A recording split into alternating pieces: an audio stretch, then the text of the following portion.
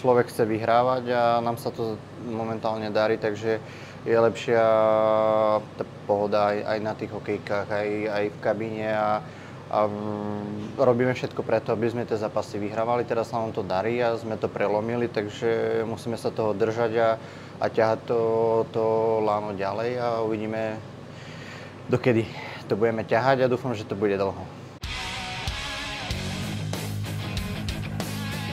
No, je to veľmi dôležité, keď, keď dostanete gól a príde tam ďalšie nové striedanie a, a, my, a my sme to využili, takže pre tú psychiku je to len len dobré.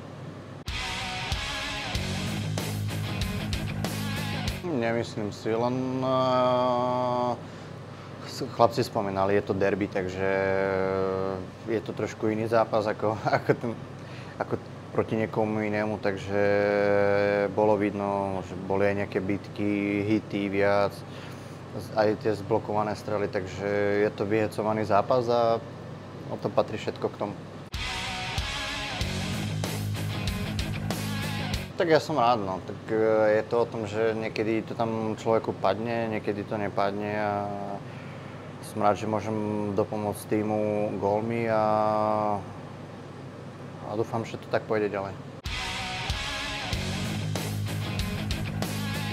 Áno, tak e, trošku sme boli sklamaní z tej návštevy proti Davosu, ale potom to bolo lepšie a dnes, dnes bolo hodne ľudí a bolo to počuť. Ja som rád, že sme, že sme ich mohli potešiť a zvíťaziť a mohli sa aj oni radovať s nami.